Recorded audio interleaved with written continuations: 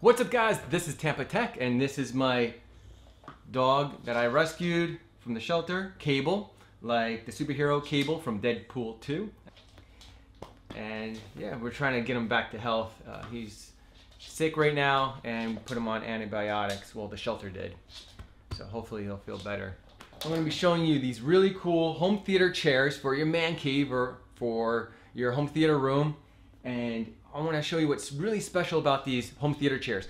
A couple months ago, I showed you my couch that I bought from Rooms to Go. It was around $1,500. It's a three-seater couch, at USB ports, uh, at AC outlet ports. Well, that couch does not compare to this setup. This is a really unique setup because you could customize your seating area with all with armrests. Now, if you're just interested in the sofa, they make the Oxford model, which is similar to my other sofa, but the one I'm showing you today is the Syracuse model. It goes for around $1,250. That's the row of two, or you can have a row of two love seat, row of three, row of three love seat on the left, or you could have it on the right side, and of course, row of four with the love seat, and a row of five. It has really cool accessories like a tablet holder, a table that you can insert, and even a wine glass caddy. It's genuine leather. It has LED cup holders, USB charging, 5 volt 2 amp, hidden storage, LED ambient base lighting, and wall hugging reclining mechanism.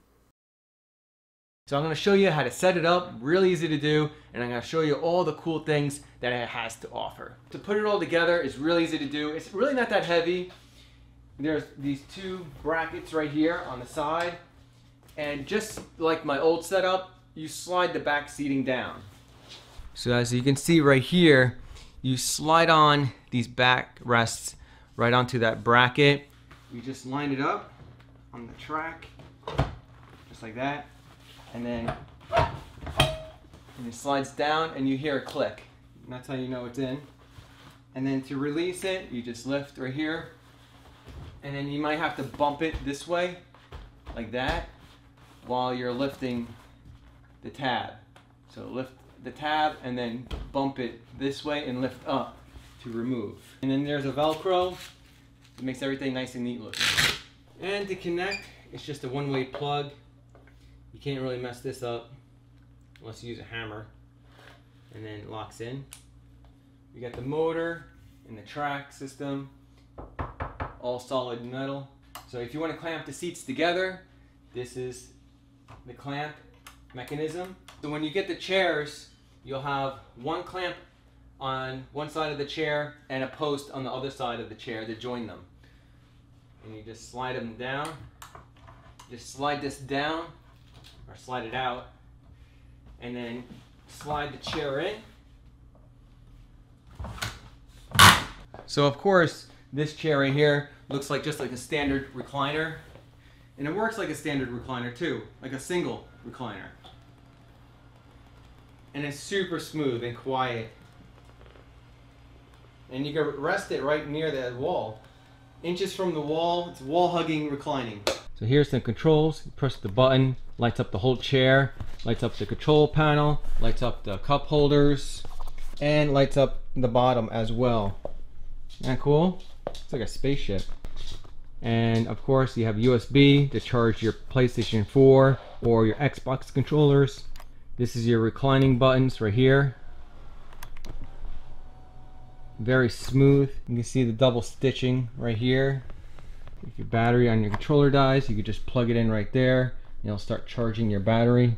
So if you have anyone that wears their keys on them while sitting on your home theater chairs, you don't have to worry as much because this material is highly durable. See?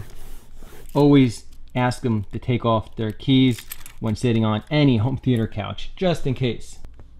So the chair is about, looks like an inch and a half from the wall.